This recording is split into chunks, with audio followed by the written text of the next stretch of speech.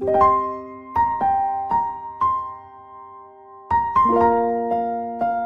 you.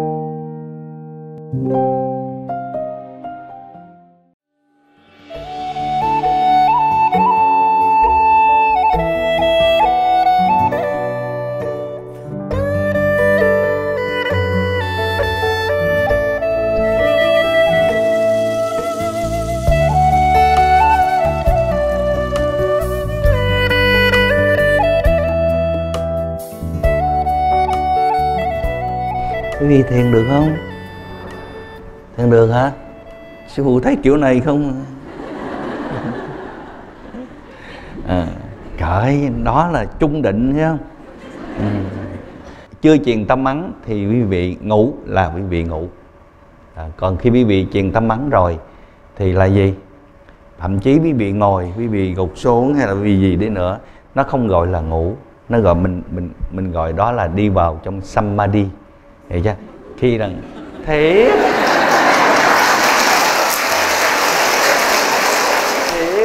tại vì khi truyền tâm bắn rồi là là lực lượng bên trong của mình đã khai mở rồi. Thì à, mình không gọi là mình ngủ nữa. Thiên lần mình thấy mình nằm xuống hay là mình ngồi mình kiểu này đi nữa cũng không gọi là ngủ. Vậy đó, đó là được gọi là mình đi vào trong định là đi vào trong samadhi đó đi vào trong định của mình đó. Hiểu chưa à, con người chúng ta không là ngủ. Hiểu chưa à, thường thường đại đa số là mình đi vào trong samadhi cả. Đó vậy? Nhiều vị minh sư ở ấn độ á à, họ ẩn tu ở chỗ nào đó hay một đoàn người học trò của họ trong trong sâu trong trong hang hay mã lạp sơn á là bắt đầu cái là họ dùng vị thầy dùng tu hành vị thầy chỉ nhận người xuất gia thôi vậy đó. Rồi xong cái vị thầy ngồi thiền một ngày nào đó vị thầy dùng thiên nhãn của mình xuống nhân gian. À, đi quan sát nhân gian thì tự nhiên bất chợt thấy một gia đình nào đó thấy một gia đình nào mà họ có duyên với mình, họ có duyên với một người học trò của mình, hiện giờ một ông sư nào đó đang ngồi trong hang động. Mà cái cái gia đình này vừa có tài bỏn sản quá, gọi là không biết chi chức gì cho ai hết. Như nếu mà kiếp này dài bữa nữa thôi chứ chừng một, hai, ba, năm, mười năm nữa, vậy này, rồi là ra đi rồi, nghĩa là chết yểu đó. Mà lợi gì? Có tài quá. Đó là vừa có tài mà vừa có có tiền tài nữa mà chết đi thì quá uổng. Nó vậy mà chết đi rồi á, là tất cả tiền của đều là tiêu tan hết. Bắt đầu vị guru mới thấy vậy, không được phí cho đời quá. Mà vị này mới xuống nhân gian mới có mấy chục năm thôi mà đã hưởng một gia sản như vậy mà có tiền có tài có tài tiền nữa mà lại lại bỏ đi, uổng quá. Bắt đầu ông ta mới gì? Kêu một người học trò lại. Người đã có duyên đó, con lại đây. À, ông ta mới chỉ cái gia đình đó. Gia đình đó có duyên với con, mà họ không có con cái gì cả. Vậy không? tới giờ này rồi, họ cầu khẩn có không có con. Bởi vì tại sao? Họ họ vô vô đức quá. Gọi là làm việc không có đức. Cho nên là kêu bằng là không có thánh nhân nào mà muốn làm con của họ cả. À, rồi. Cho nên là thôi gì đi con đi xuống dưới con làm con của ông ta đi. Làm con ông ta mười mấy năm thôi rồi đi về nghe không? À vị này nói bạch guru con đi. Bắt đầu à, vị guru mới nói thôi đi đi bây giờ con đi là được rồi. Vị này ngồi xuống tham thiền nhập định rồi bắt đầu đi ra. Linh thể đi xuống dưới kia đầu thai làm con của gia đình đó. Nhưng nhục thể vẫn ngồi đây. Nhục thể vẫn ngồi yên bất động trong hang động. Ngồi yên đó hẳn chừng 10 năm 15 năm vân vân. Có người ngồi tới 20 năm. Ngồi yên một chỗ 20 năm. À, vậy. Rồi có một người sư huynh sư đệ nào đó vân vân mỗi ngày cho cho vô. Thí dụ đi chừng à, hai ba năm á là bắt đầu cho mỗi ngày cho vô một ít uh, sữa hay là bột hũ cốc vân vân. À, vậy uh, cho vô miệng để giữ cái nhục thể này lại. Nhưng mà vị đó tiếp tục ngồi mà nhục thể không bị gì cả cứ ngồi yên bất động. À, vậy rồi vị này xuống dưới nhân gian luân hồi xuống gia đình đó làm con gia đình đó. Khi làm con rồi quý vị biết con một mà gia đình cưng như thế nào? Người con nói gì cũng nghe khi mà luân hồi xuống gia đình đó rồi, thì dĩ nhiên có lực lượng bị có công đức, một người tu ờ, một người có công đức, phước báo nữa. Là bắt đầu vì đó xuống xuống với gia đình đó rồi. Nói cái gì gia đình nó cũng nghe.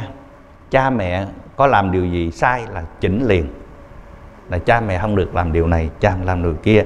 Lấy tiền, lấy tài sản đi giúp đỡ cho người này, người nọ, tất cả mọi thứ.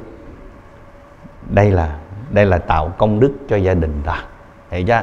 10 năm sau hay là 15 năm sau thậm chí 20 năm sau là bắt đầu gì? Vị này gọi là trở về với cái nhục thể này. Cái nhục thể 20 năm này 15 năm này quỷ bỏ nhân gian chúng ta được gọi là chết đi đó. Tuy làm cho gia đình này một cái cú sốc rất mạnh làm cho một đứa con của mình người này dĩ nhiên họ là một người uh, nhân gian một con người mất thịt tay phàm nghĩ rằng đây là con mình nó chết vân vân. Là vậy. Nhưng mà cái chết của người con cái kiểu nhân gian cũng là một đánh thức cho người cha người mẹ biết rằng là mình làm việc không đúng. Đó là vậy. Thứ nhất là tạo cho cha mẹ có công đức phước báo lấy tài sản này giúp đỡ cho người à, bằng cùng khổ ải. Thứ nhì nữa là gọi là ghen gọi là nhắc nhở cho cha mẹ có cái, cái tánh đạo đức một chút hướng về một cái sự thiện lành. Thứ ba để tới giờ ra đi cùng lúc đó cùng công việc đó tới giờ ra đi thì vị này người cha người mẹ này cũng được đánh đánh thức với trái tim của mình. Mình chắc mình làm những điều gì không có đức hạnh cho nên con mình phải chết. Thôi mình quay trở lại trên con đường thiện lành. Quý vị hiểu chưa? Nhiều lắm chỗ ăn sư của sư phụ mấy vị sư huynh của sư phụ đi hoài.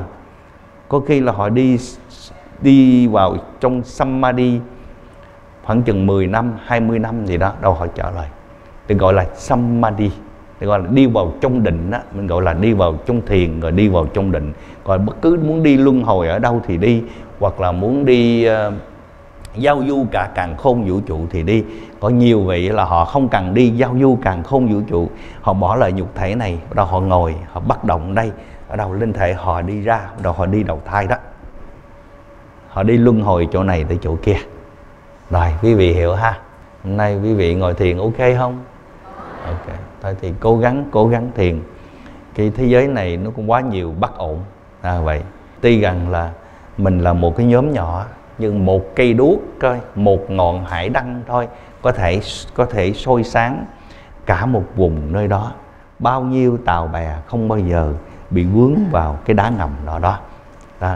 quý vị như là một ngọn đuốc của hải đăng đó một ngọn đèn hải đăng ở canh giữ những chỗ đó. Mỗi một người của quý vị như một ngọn đèn soi sáng cho bao nhiêu người đi ngang chỗ đó mà không bị vướng bằng không bị rơi vào trong cái sự khổ ai, Rồi, thôi thì quý vị gắn thiền gắn thiền yeah. đi đến đâu mình cũng đều thiền. Thiền là một một phúc lạc lớn nhất trong cuộc đời của mình. Thiền là một công đức lớn nhất thiền là một lực lượng bình an nhất trong cuộc đời của chúng ta. Khi mình bình an rồi mình làm cái gì cũng được cả. Khi mình có được một lực lượng bình an trong tâm rồi một sự sáng suốt rồi thì quý vị tính toán hay là quý vị làm bất cứ điều gì nó cũng thành nó cũng thành. Sợ mình không có sáng suốt sự quyết định của mình nó không đủ sáng suốt không đủ trí huệ. Làm đâu thua đó làm đâu lỗ đó. Gọi là cả lời lẫn vốn gì nó cũng tiêu hết. Nói vậy. Khi mình đã à, thiền định mình sáng suốt rồi thì cái gì mình quyết định bất cứ điều gì dứt khoát và thành công liền đó. Là vậy đây là sự thiền định là như vậy. Với pháp môn dòng âm lưu thượng đế mà sư phụ đặt vào tay của quý vị với lực lượng tâm ấn này đây.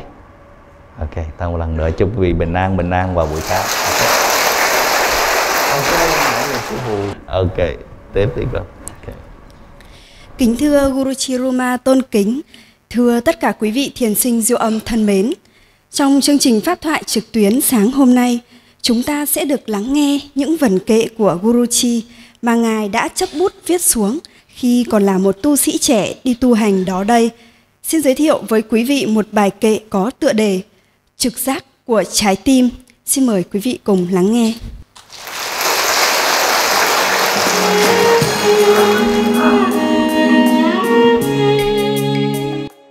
Tu sĩ trẻ tự nhủ phải xứng đáng với tình thương của Thượng Đế. Thượng Đế đã tôn trọng mình, tu sĩ trẻ càng phải tự tin. Khi ra bất cứ quyết định nào, tu sĩ trẻ cũng đều cầu nguyện bên trong. Luôn đối mặt với mọi bất ổn bằng niềm tin vào ẩn điển từ Thượng Đế.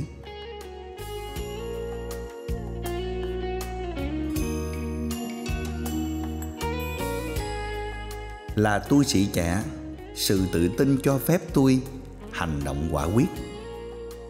Thượng Đế luôn trong mình, tôi không sợ hãi theo đuổi mọi giấc mơ. Tu sĩ trẻ tin vào trí huệ và trực giác của trái tim hướng dẫn bản thân quyết đi theo con đường tu chân chánh tôi tự tin mình sẽ đi đến đỉnh cao của sự giác ngộ tình thương thượng đế sẽ dẫn dắt tôi giải thoát một đời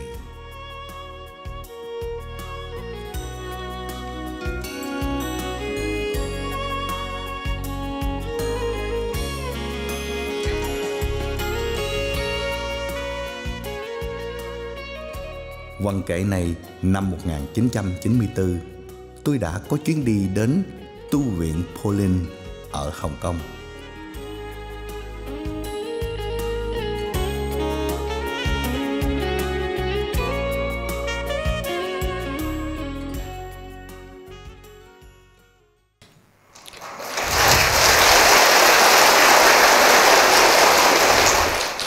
Thưa Guru Chiruma tôn kính, Nghe những vần kệ vừa rồi, chúng con thấy Ngài có một sự tự tin rất lớn, dám đối mặt với mọi thử thách trên đường tu.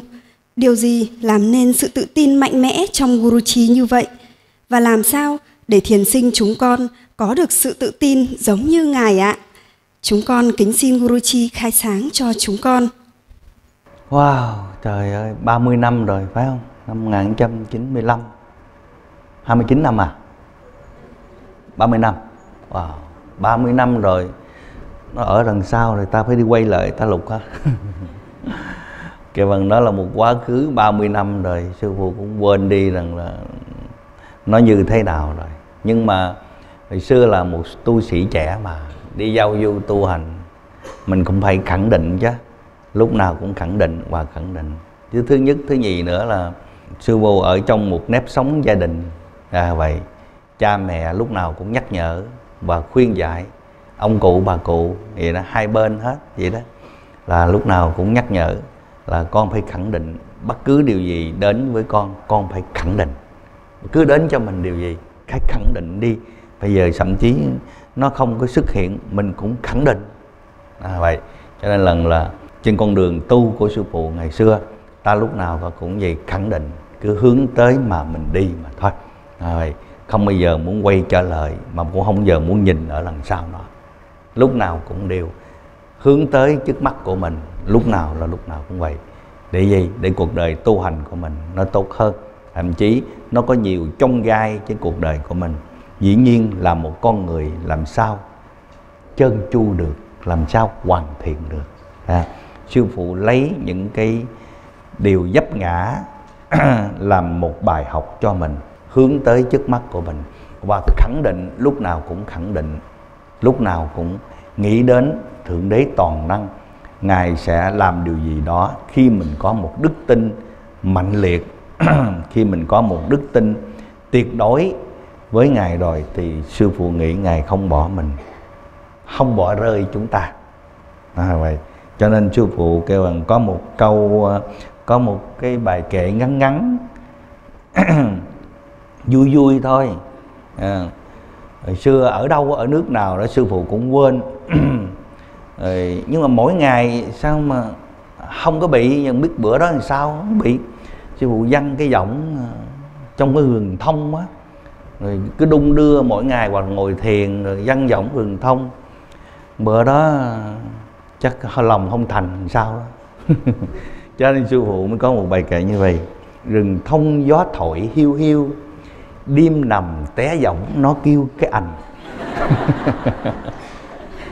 trách mình chưa đủ tâm thành cho nên thượng đế mới đành bỏ rơi.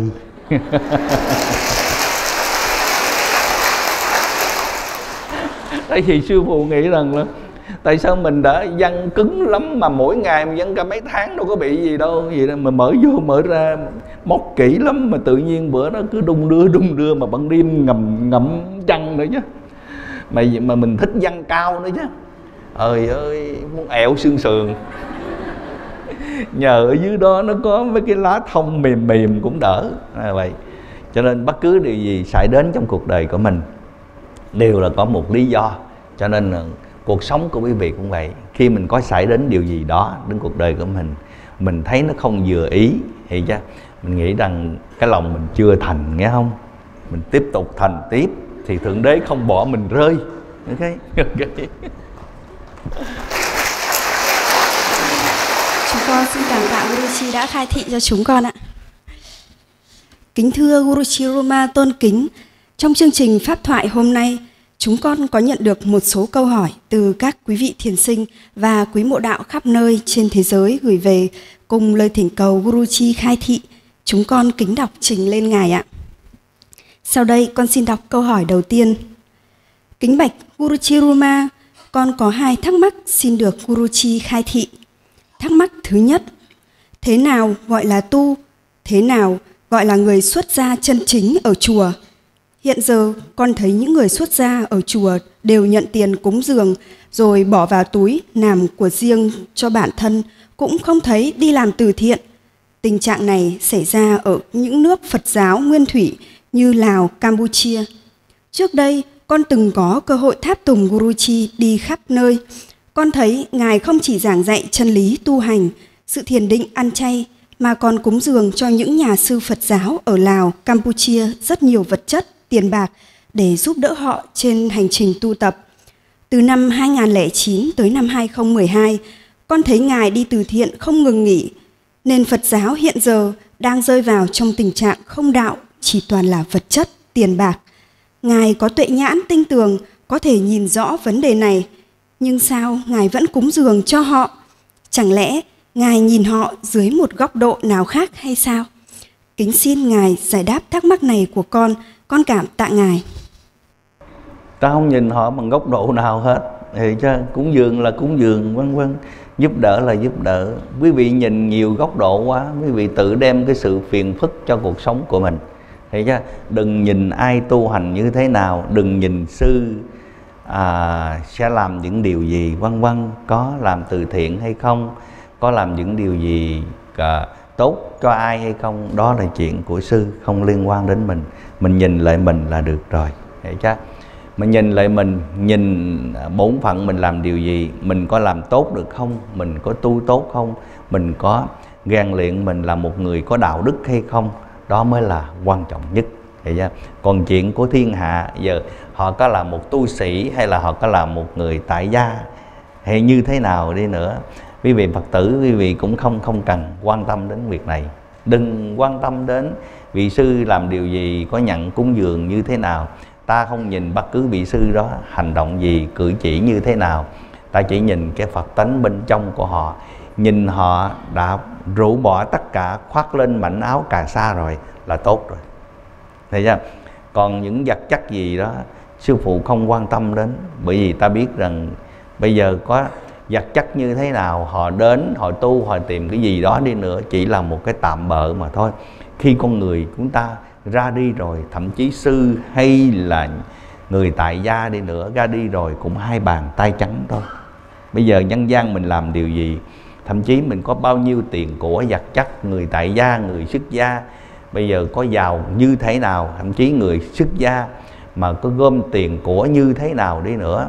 Thì một ngày cũng ăn một bữa, hai bữa cũng khoác lên một mảnh áo đó mà thôi. Cái màu sắc khác nhau. Hiểu chưa? Màu sắc vàng, màu trắng, màu đỏ, màu xanh vậy thôi. Có bao nhiêu đó. Còn người đời, bây giờ có giàu có như thế nào? Người đời có là một người tỷ phú hay là con viên viên chức hay là, gọi là chức vụ gì, quyền lực gì đi nữa, khi chết rồi cũng là trắng tay mà thôi. Vô vọng. Đó là vậy cho nên cũng là tử thần cũng là thần chết đến mà nắm kéo đi như một con bò một con trâu không kháng cự được. Đó là như vậy. Cho nên sư phụ không nhìn vào góc cạnh nào của một con người nhân gian à, hay là một người thầy tu như thế nào. Rồi ta đến ta thấy chùa cần cần thiết à, những vật chất này để tu sửa hay là cần vật chất này để cho họ sinh tồn thì sư phụ có những gì đó ta cứ đưa thôi. Những vật chất đó cũng là của quý vị thôi. Là quý vị.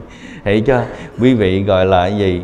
À, giúp đỡ thì sư quý vị đưa qua cho ta thì ta đưa qua cho họ thôi. Đó là những gì mà sư phụ làm. Ta không nhìn. Cho nên là quý vị làm nếu quý vị là có tu hành hay là quý vị là một phật tử quý vị tu với sư phụ hay là quý vị không tu với sư phụ là một phật tử đi nữa quý vị cũng đừng bao giờ nhìn. Nhớ lấy đừng bao giờ nhìn.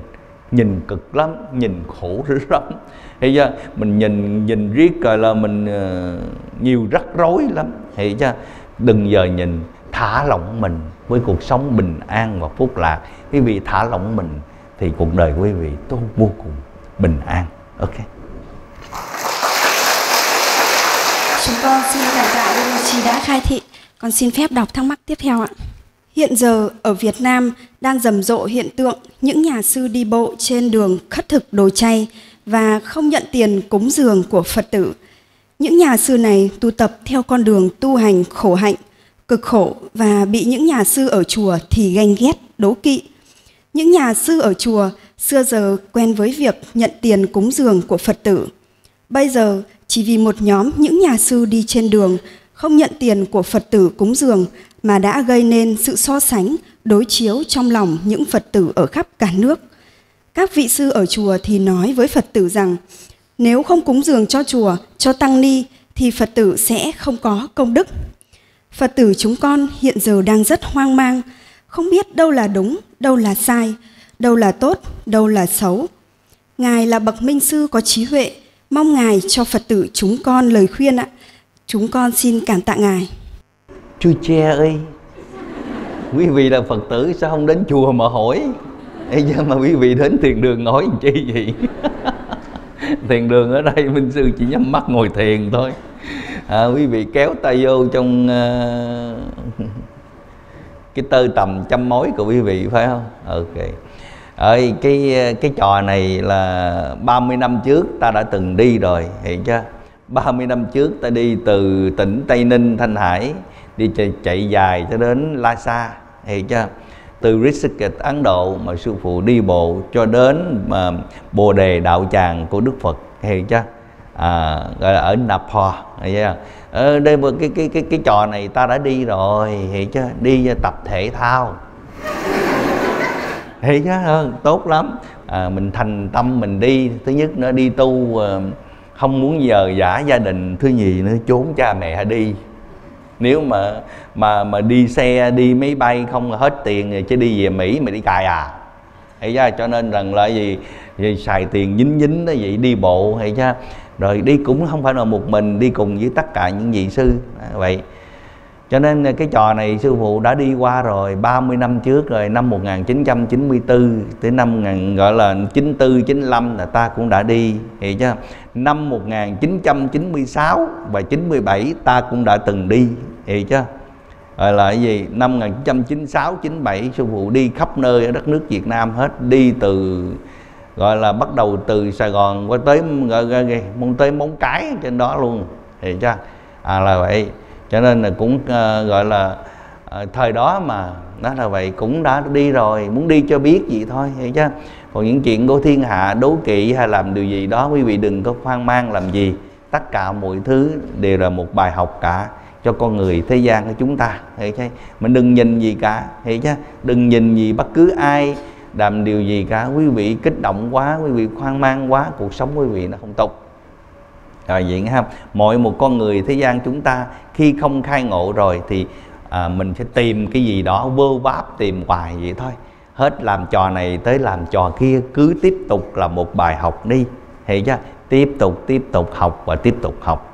Học đến khi nào mà mình khai mở thôi đầy đủ thôi và tiếp tục trả nợ ở nhân gian này. Đến khi nào đã sẵn sàng rồi thì gì? Minh sư sẽ đến và họ đã đủ duyên đủ phước rồi họ sẽ bước tới con đường giác ngộ. Ok? Chúng con xin cảm tạ Guruji đã khai thị. Con xin phép đọc câu hỏi tiếp theo ạ. Kính bạch Guruji Ruma, cho con xin gửi lời sám hối muộn màng tới Ngài. Con của con đã ra đi trong đợt Covid-19. Sau này em trai nó mới tới tường thuật lại cho con mọi việc. Lúc ra đi, anh nó không được tọa nguyện vì còn nhớ mãi tới những việc làm sai lầm đã gây ra tại thiền đường Florida của Minh Sư. Khi đó, Minh Sư mới đi Hoàng Pháp ở Đông Nam Á về và Ngài đang làm việc ở ngoài vườn. Vườn của Ngài trồng rất nhiều thanh long. Con của con đi ngang qua, thấy nhà vườn của người Việt Nam nên ghé lại mua ít thanh long. Minh Sư là người bẻ cho nó. Lúc nó trả tiền thì Minh Sư nói, cứ để tiền trên bàn đó đi. Rồi Minh Sư bước ra vườn tiếp tục làm. Cháu thấy vậy nên lòng tham nổi lên, bỏ đi luôn chứ không để lại tiền trên bàn. Trước khi ra về, cháu còn ra ngoài vườn, còn hái thêm một ít bỏ vào cốp xe. Một thời gian sau, hai anh em nó có dịp về Việt Nam thì mới biết Ngài là một vị minh sư đang dạy thiền cho mọi người, hay đi qua lại giữa tiểu bang Florida và các nước Đông Nam Á để Hoàng Pháp độ sanh. Và Ngài cũng là sư phụ của con. Trước khi hai cháu về Mỹ học tập tiếp thì con có dẫn hai cháu đi truyền tâm ấn ở Việt Nam. Sau đó, con cũng qua Mỹ sống cùng hai cháu. Dù đã được truyền tâm ấn, nhưng vì bận học nên hai cháu chưa lần nào được gặp Minh Sư. Cuối năm 2019, đầu năm 2020, dịch Covid bùng phát toàn cầu. Con bị kẹt lại bên Mỹ, còn hai cháu bị kẹt ở Việt Nam. Vì bị virus 19 tấn công, nên đứa con lớn của con đã ra đi mãi mãi. Lúc ra đi, cháu không được tọa nguyện, lương tâm cắn rứt vì đã làm chuyện tội lỗi với Minh Sư. Mãi sau này, gần 5 năm trôi qua, em trai nó mới thuật lại mọi việc cho con biết. Này con xin gửi thư sám hối tới Guruji vì lỗi lầm mà con của con gây ra với Ngài. Mong Ngài từ bi lượng thứ. Con cứ suy nghĩ mãi là tại sao chỉ vì một việc nhỏ thôi mà lương tâm cứ cắn rứt hoài vậy. Làm cách nào để bản thân có thể xoa dịu những lỗi lầm mình đã gây ra. Con mong Ngài cho chúng con lời khai sáng, con cảm tạ Ngài vô cùng. Tu và thiền tha thứ cho mình, tha thứ cho mình. Thì cũng vậy thôi, chúng sanh hằng hà là vậy. Đôi khi chuyện nhỏ, chuyện lớn gì cũng được, cũng vậy. Trái tim của mình là một quan tòa. Thậm chí mình làm điều gì ở nhân gian, đã nói rồi, một con người không ai hoàn thiện, hoàn mỹ cả. Nó là vậy. Cho nên làm bất cứ điều gì mình nên tha thứ cho mình.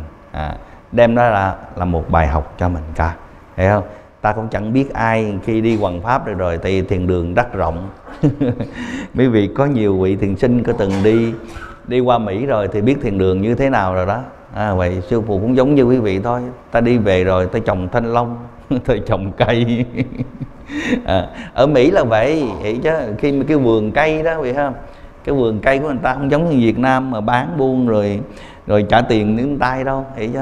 Khi lần là sư phụ đóng một cái thùng đó vậy đó để cái bàn đó vậy rồi để cái căn nhỏ đó luôn. Rồi thí dụ như là để cái giá đó thí dụ như là một pound là bao nhiêu tiền đó vậy là anh cứ bẻ đi rồi anh anh anh trả tiền anh bỏ đại vô đó anh anh không bỏ thôi bây giờ sao giờ? Hiểu chưa đâu phải là chỗ của sư phụ không. Nhiều nhiều nhiều chỗ khác nó cũng làm như vậy. Hiểu chưa nhiều chỗ khác cái gì? Hồi xưa, xưa ở, ở thiền đường sư phụ cũng gì? Cũng y như vậy thôi không có gì cả. Okay. thôi tha thứ cho mình không có gì mà mà trách móc như vậy. Chắc bởi vì à, mẫn cảm mà mình có đi trong con đường tu mà. Hiểu chưa cho nên bất bất luận mình làm điều gì ở nhân gian à, lấy đó làm một bài học cho mình à, dấp ngã là một sự lớn khôn à, một bài học làm cho mình lớn khôn. Dấp ngã là làm làm bài học cho mình thăng qua lên trong cuộc đời này. Ok. Chúng con xin cảm tạ Guruji đã khai thị. Con xin phép đọc câu hỏi tiếp theo ạ. Kính thưa Guruji Ruma tôn kính của chúng con. Con là thiền sinh Thanh Hóa Hôm nay con gửi tới ân sư Guruji Ruma tơn kính lời cảm tạ sâu sắc nhất của chúng con. Trong chuyến đi dự lễ cầu bình an ở thiền đường Trang Mai, khi trở về, chúng con về tới một đèo đất ở nước bạn láng giềng Lào thì bị sạt lở đất tới mấy trăm mét, không đi nổi. Mọi người trên xe cầu nguyện, đọc kinh của Guruji, thắp đèn và giải ít đất mà trước khi ra về Guruji Ruma đã cho chúng con mang về. Thì một điều kỳ diệu đã xảy ra. Chỉ 30 phút sau, chúng con đã được chiếc xe kéo lôi xe của chúng con lên. Thế là chúng con thoát được đèo đất nguy hiểm ở nơi đó.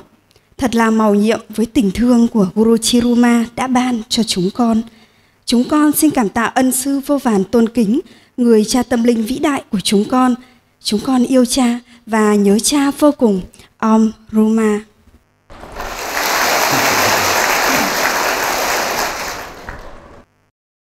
Con xin phép đọc câu hỏi tiếp theo ạ. Kính bạch Guru Chiruma, công đức tu hành đến từ đâu? có phải đến từ việc tụng kinh gõ mõ hay không? Làm sao để Phật tử chúng con tạo ra được nhiều công đức phước báo? Kính xin Guru Chi khai thị cho chúng con. Tìm minh sư nhìn ngài lần thôi là quý vị đã có công đức và phước phước báo rồi. Hiểu không? Quý vị kêu bằng là nếu mà quý vị muốn tìm một công đức gọi là vô lượng vô biên là xài hoài không hết á, thì quý vị phải khai ngộ quý vị phải gì tìm gặp được minh sư ngài có thể mở cái thiên nhãn này của mình chọc lũng cái màn vô minh xé nó ra cho mình bước ra ngoài đó hiểu chưa cho bằng là bước ra khỏi cái cái uh, ngục tù của cái nhục thể này ngục tù của tam giới hiểu chưa? Thì lúc đó rồi á, là mình kêu bằng là tự do được là giải thoát đó. Hiểu chưa thì công đức của mình vô lượng vô biên đó là vậy. Còn bây giờ mình cứ gì mình tụng kinh niệm phật cũng đều có công đức và phước báo nhưng nó vô cùng nhỏ. Bữa nay nó có ngày mai nó hết rồi. Nó giống gì giống như mình đi kiếm vừa đủ ăn hôm nay ăn xong rồi hết rồi ngày mai quý vị kiếm tiếp kiếm hoài vậy đó. Đi bư vào hoài như con gà vậy thôi đó vậy. Thì bây giờ muốn có công đức vô lượng vô biên không bờ không bến đó đó rồi xài hoài không hết đó thì quý vị phải là một người đi tìm minh sư. Nhờ ngài mở mang cái thiên nhãn cho mình nhờ ngài chọt lũng cái màn vô minh giúp mình gọi là chui ra khỏi cái lớp áo của màn vô minh này để, để nhận thức và tìm lại vị chủ nhân bên trong này thôi đó là vậy. Khi mình tìm được vị chủ nhân bên trong này rồi thì mình có tất cả. Mình có có được minh sư rồi thì có tất cả. Giống như một câu chuyện rồi mà mà sư phụ thường kể đó, là gì? Một ông vua cho tất cả những người phụ nữ, gọi là trong nước của ông ta, những người phụ nữ nào mà sắp lấy chồng đó là có một chút của hồi môn, vân vân. Người ấn độ là vậy. Ngày xưa người ấn độ, người phụ nữ lấy chồng thì phải có của hồi môn đi theo. Nếu mà không có của hồi môn thì có thể người chồng không lấy, gia đình bên chồng không chấp nhận, vân vân. Thì những người họ vị vua mới biết được như vậy thì gọi là thông báo cho toàn nước đó, những người nữ nào mà sắp lấy chồng cần của hồi môn thì có thể đến hoàng gia hoàng gia có thể cho, vân vân thì ai cô nào cũng sắp hàng lấy đeo cho mình cho nó nhiều lên. Cho vừa đủ cho mình. Có một ờ, một phần của hồi môn có một cô gái ờ, gọi là không lấy gì cả. Thì ra và ờ, cuối cùng rồi ông vua hỏi tại sao không lấy? Ừ, cái vật chất này bộ không có gì vừa ý của nó không? À, vật chất này tôi không lấy tôi chỉ lấy ông vua thôi. Vì thấy chưa? Gọi bằng gì? Bám được ông vua rồi thì cả giang sơn là của cô ta. Đó là như vậy. Còn bây giờ cứ lấy vật chất đi nữa đi á. Bây giờ cô có đeo ờ, nặng chịu cả người đi nữa vật chất này ít bữa nó hết tôi. Nó là vậy, xài bữa nó cũng hết à. Còn cụ ba cụ cụ nắm được hoàng gia rồi thì thôi, nắm được ông vua rồi thì cả giang sơn là của cụ hiểu chưa dưới một người mà trên vạn người thì cũng y như vậy hiểu chưa quý vị gặp được minh sư rồi thì công đức của quý vị vô lượng vô biên xài hoài quý vị không hết. Ok. Chúng con xin cảm tạ Guru Chi đã khai thị. Con xin phép đọc câu hỏi tiếp theo ạ. Gửi đến Guru Chiruma, con có một câu hỏi về đứa con của con, rất mong được Guru Chi khai thị. Con của con đã từng bước vào con đường xuất gia với Guru Chi, Trước khi xuất gia, nó là một người du côn, du đãng, chỉ biết ăn chơi, lêu lỏng suốt ngày, cuộc sống nghèo nàn, khổ sở. Sau khi xuất gia theo Guruji, được Ngài huấn luyện dạy bảo, nó đã biết sống thánh thiện và yêu thương người khác. Xuất gia được 5 năm, nó hoàn tục trở về với cuộc sống đời. Sau đó, vì nghe sự tác động ở chùa và từ người khác nên nó đã vu khống, phỉ báng Guruji. Nó đã quên hết ơn nghĩa thầy trò, quên rằng Guruji đã là người bảo nó về sự tu hành thiền định, chăm no cho nó về mọi thứ từ cuộc sống đến tâm linh trong suốt quãng thời gian xuất gia theo ngài tu học. Điều này làm con vô cùng xấu hổ. Những năm qua, con thấy Guruji đã vất vả với việc hoàng pháp độ sanh, vậy mà ngài còn phải gánh chịu nhiều oan ức từ những lời phỉ báng. Những người phỉ báng minh sư như vậy, khi mất đi rồi thì sẽ đi về đâu? Kính mong Guruji khai thị cho con ạ. Ta đâu biết đi về đâu, thấy chứ? À vậy, nếu mà mình lúc nào mình cũng nhìn vào ánh sáng mà mình đi vào một con đường ánh sáng thì chứ thì mình sẽ đi vào con đường ánh sáng còn nếu mình không muốn đi được con đường ánh sáng nữa mà mình không muốn nhìn vào ánh sáng nữa mình loại bỏ cái ánh sáng này một bên thì mình sẽ đi vào cái bóng tối rồi quý vị tự hiểu lấy đó là vậy hiểu chưa? Khi mình con đường con đường của mình mình gặp minh sư minh sư là gì? Minh sư là một con đường giải thoát, minh sư là một ánh sáng của trí huệ của mình. Hiểu chưa? Bây giờ mình đến với minh sư rồi thì mình đi vào con đường ánh sáng này của mình, đi vào con đường giải thoát, đi vào con đường bình an, phúc lạc này của mình đây. Còn bây giờ mình không muốn đi con đường này nữa thì mình được quyền tự do chọn lựa, thì mình chọn bên bóng tối thì mình cứ mà đi về con đường bóng tối.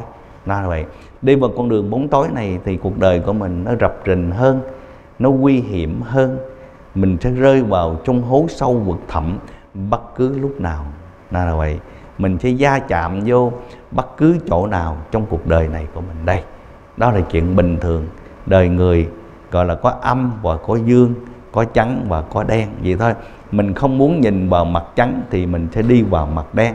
Mình không nhìn vào ánh sáng thì mình sẽ đi vào bóng tối đó là mình chọn lựa mà, đó là vậy. Không có gì sai. Mình cứ chọn lựa. Nếu mình chọn lựa mình chọn lựa đi ánh sáng thì tốt cho cuộc đời của mình. Còn nếu mình không chọn lựa đi ánh sáng thì mình chọn lựa đi vào trong bóng tối thì cuộc đời của mình nó nằm trong cái bể khổ nằm trong cái sự gọi là triền miên gọi là cột chối mình trong triền miên sự đau đớn này đây. Bởi vì mình sẽ ganh ghét một người nào đó hay là mình sẽ à, giận hờn người đó thì trong tâm mình lúc nào cũng đau đớn lúc nào cũng mệt mỏi. Mình đang uống thuốc độc đó. Giống như sư phụ thường nói với vị một câu chuyện đó một người phụ nữ hai vợ chồng lấy nhau có một gọi là sanh ra một đứa con đâu chừng ba bốn ngày năm sáu ngày gì đó. Người chồng mỗi ngày đi ra đường đi tìm việc làm mà tìm hoài không có về tới nhà nữa đi rồi dĩ nhiên thiếu thốn vật chất. Người người vợ thì dĩ nhiên ờ, thiếu thốn vật chất thì cũng khó chịu. Mới sanh nữa mà chồng không có ở nhà nữa, cứ bỏ đi hoài. Mà vợ bực mình lên. Không thấy ổng ở nhà, muốn cần ổng chuyện gì cũng kiếm ổng không ra. Đó, vậy. Bây giờ ổng đi tìm mà, đi tìm việc làm. Mà rồi bả thì kêu bằng là bực bội, mới sanh nữa. Rồi có một ngày nọ, ổng về bả bực quá bả la bả nói chuyện la hoài, ổng cũng chẳng muốn nói chuyện, muốn chẳng trả lời. Cái gì nhìn đàn ông tâm sự mà không muốn nói cho ai. Rồi cứ bỏ nhà đi tiếp, rồi đi nữa, rồi cứ đi hoài. Bực có ngày nọ bực về nhà, bà chửi không bà chửi bà môi hết tất cả những điều xấu xa gì, bà chửi hết. Bà chửi hoài, chửi riết. Mà ông ngồi đó ông nghe nghe rồi một hồi nữa, rồi xong ông mở cửa bỏ ông đi tiếp. Mà ông bà nhà bà tiếp tục, bà chửi tiếp. Chửi hoài tất cả những tức giận gì ở trong nó chút đổ ra. Rồi chửi hồi ông không có đó là bà cũng ngừng, con khóc rồi, ôm con lên cho bú. Cho bú xong bỏ con xuống ngủ. Rồi đi làm chuyện nhà tiếp, rồi một tiếng, hai tiếng, ba tiếng đồng hồ trôi qua, bốn tiếng đồng hồ trôi qua. Con cũng vẫn ngủ. Nó, ủa, thường thường nó hai tiếng nó thức rồi, bốn tiếng chưa thức. Bốn tiếng rồi chưa thấy nó khóc lóc gì hết, chuyện gì xảy ra, ẩm con lên thì con chết queo ẩm con lên thì nó không còn thở nữa. Rào hét lên thì là con con mình nó đã chết rồi. Không biết tại sao con mình chết. Tới chừng đưa đi một câu chuyện thật đó nghe không? Đây đưa đi bệnh viện thì người ta nghiên cứu người ta hỏi han người ta tìm hiểu thì con mới có một tuần hai tuần mà làm sao mà nó nó, nó đâu có ăn cái gì nó chỉ ngoài bú sữa của bà thôi chứ đâu có bú sữa gì đó. Mà nó chết như vậy chừng tới chừng tìm hiểu lại rằng là con bà đang ngộ độc mà chết. Và nói tôi nó đâu tôi đâu cho nó ăn cái gì mà nó sẽ ngộ độc. Con nít mới có một hai tuần làm cho nó ăn cái gì? Nó chỉ bú sữa tôi thôi. Tôi chừng tìm hiểu là rằng là trong sữa của bà có độc. Và nếu nếu mà sữa tôi có độc thì cái tháng đầu tiên cái gì? Cái ngày đầu tiên nó đã chết chết dễ hơn cái hai tuần sau này. Mà tại sao tới cái chừng sau này nó mới chết lần chừng uh, nhà khoa học nghiên cứu ra rằng là à trong lúc mà bà tức giận đó, sôi sùng sục lên đó, là máu huyết mình nó nó sẽ sôi sùng sục lên đó. Đó là khởi cái đầu của cái độc tố trong con người của mình đó. Con mình nó bú trong lúc đó đó là lúc đó là những cái sữa của mình. Đó là cái sữa độc đó. Vậy chứ thì bây giờ quý vị có muốn tức giận không? Con người nhân gian đây quý vị ai có muốn tức giận thì là biết rồi. Khi mình tức giận khi mình sân si mình phỉ bán ai đó mình giận hờn ai đó là tự nhiên con người mình chính bản thân mình đã tạo ra một cái độc tố rồi. Thấy chưa? Quý vị thấy con rắn không? Thường thường con rắn con rắn độc á nó không có độc. Khi mình chọc nó tức á, thì nó phun ra thì trong đó mới có độc. Thấy chưa? Con rắn tivi thấy con rắn mà nó nó tuy gần mình thấy nó gọi là gì bình thường rất là hiền không ai đụng chạm không ai mình con người đừng có gọi là làm cho nó sợ hãi thôi. Khi mà mình làm cho nó sợ hãi á, thì lúc đó nó mới phun cái đó cái chất độc trong người nó ra đó thì cái đó mới có độc đó. Thì chứ thì cũng có giống y như vậy thôi. Con người của mình cũng không khác gì cả. Khi mình tức giận lên mình sân si lên đó thì lúc đó đó là lúc mới độc tố từ trong người của mình nó sẽ tiết ra đó. Rồi vậy chứ mình đi gì đâu mình biết rồi đó nghe không? Ok. Chúng con xin cảm tạ vô trì đã khai thị. Thưa tất cả quý vị thiền sinh thân mến trong phần cuối của chương trình Pháp thoại sáng hôm nay, chúng ta sẽ được đón nhận thêm một bài kệ Guruji viết thời trai trẻ. Bài kệ có tựa đề Chào đón Thượng Đế qua thiền định. Xin mời quý vị cùng lắng nghe.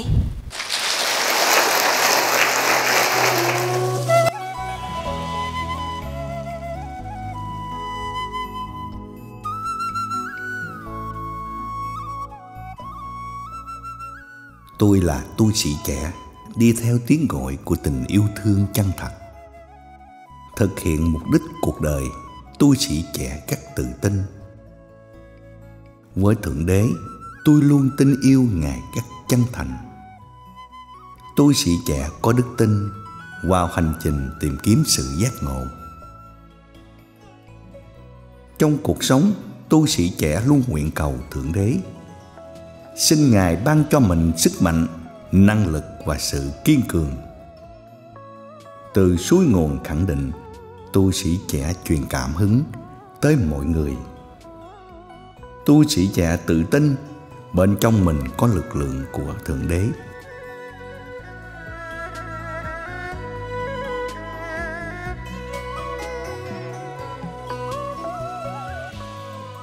Lý tưởng cao cả, tu sĩ trẻ tự nhủ mình phải xứng đáng. Biết ơn thượng đế và sự hỗ trợ của những người thân yêu. Dũng cảm đối diện thử thách trên hành trình đi tới tương lai, tôi sĩ trẻ thấy mình xứng đáng được biết ơn thượng đế. Biết ơn ngài cho mình thành công trong mọi mặt cuộc sống. Hành thiền mỗi ngày để thăng tiến tâm linh bên trong. Chia sẻ thiền định, biết ơn pháp thiền ánh sáng và âm thanh. Tu sĩ trẻ luôn chào đón thượng đế qua sự thiền định.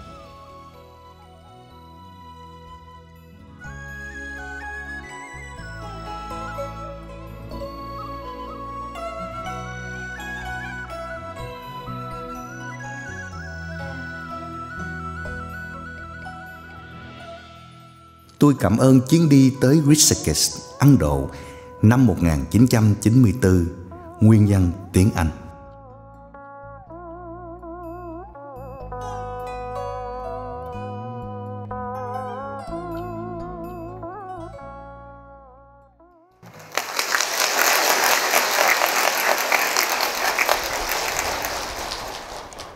Chúng con xin cảm tạ Guruji đã cho chúng con lắng nghe những lời kệ ý nghĩa vừa rồi ạ.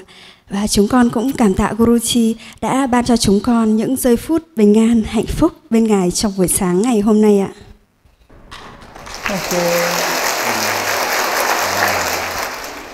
Mấy bài kệ này lâu quá rồi Năm 94 tới giờ 30 năm rồi ha à, okay. Hồi xưa sư phụ đi đâu cũng đều là viết cả Tới bây giờ cũng vẫn quyết. Quý vị sư huynh của quý vị mấy vị sư ở đây thích lắm. À, Vậy giờ sư phụ môi ra. Hay không? Okay. Thôi vậy. Đây cũng là một bài học để cho quý vị cơ vận tham khảo thêm. Ok ok. Thôi thì chương trình hôm nay mình tạm ngừng vì quý vị sư phụ ngồi đây ngồi thiền với quý vị một chút. Ok. Quý vị nhắm mắt lại nhé. Không ok.